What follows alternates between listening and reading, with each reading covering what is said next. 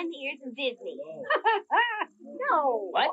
Over here. Oh, over there. I'm Rudy Lipton. She's absolutely right. Today, we're on the set of Disney's new original movie, Can of Worms, the story that brings faraway galaxies home and introduces you to extraterrestrial life. It's got a hit where it hurts. It stars Michael Shulman, who plays Mike Pillsbury, a teenager who has a hard time fitting in. It gets worse. After broadcasting a plea over his homemade outer space satellite system, begging aliens to take him away, Mike gets more than he bargained for when they actually show up. You have opened up a can of worms. Admit it, it's a good story, isn't it? Working space aliens is fun. Um, I talk with the dog in parts of it. Talking with the aliens, you know, they're all slimy and yucky, and they're really cool. They're really fun to hang around with.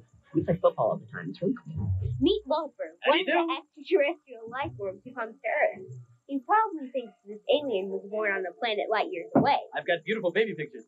but he wasn't. He was born here at the special effects shop in Burbank, California. Most of the aliens in this film are made of foam rubber, which is this material right here. It's very, very soft and it wrinkles pretty much like skin does, or at least like alien skin. What we're working on here is the bomb. This one is probably the most disgusting character in the movie.